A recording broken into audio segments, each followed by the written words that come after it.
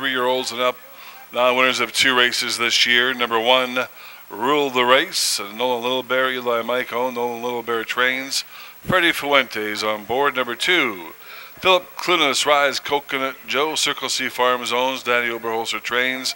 Number three, Want the Facts, Ellison Clapton owns and trains, Jose Rochop. Number four, Neville Stevenson, Red Hot Neville Stevenson, Rise Cool Bullet, Kurt Bensmiller owns and trains. Number five, Pretend and Extend, written by Valentino McBean, John Adderley and Thomas Pico, Maria Stafford trains. And number six, Pages Peak, Darlene Rowan owns.